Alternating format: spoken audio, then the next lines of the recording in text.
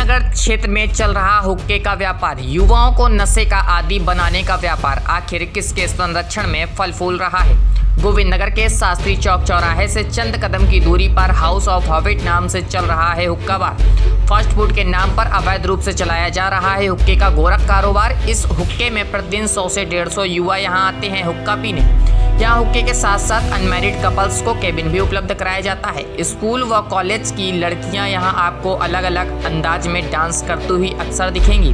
अब बड़ा सवाल ये बनता है कि आज के नव युवा युवतियों के भविष्य के साथ खिलवाड़ का कार उनको नशे का आदि आखिर किसकी पनाह में किया जा रहा है?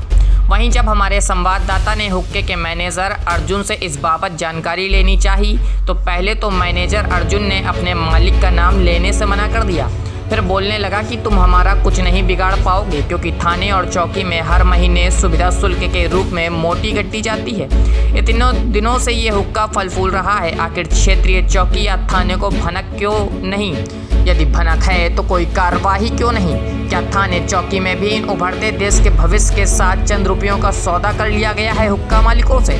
अब देखना यह है कि शास्त्री चौक के इस हुक्के बार हाउस ऑफ़ हॉबिट में कार्रवाई होती भी है या जिस तरह से मैनेजर मोटी रकम की बात कर रहा है, उसमें कहीं दब के रह जाती है। कब तक यूँ ही देश के भविष्य को नशे का आदि करता रहेगा कानपुर का ये हुक्का बार। Kanpur bureau report.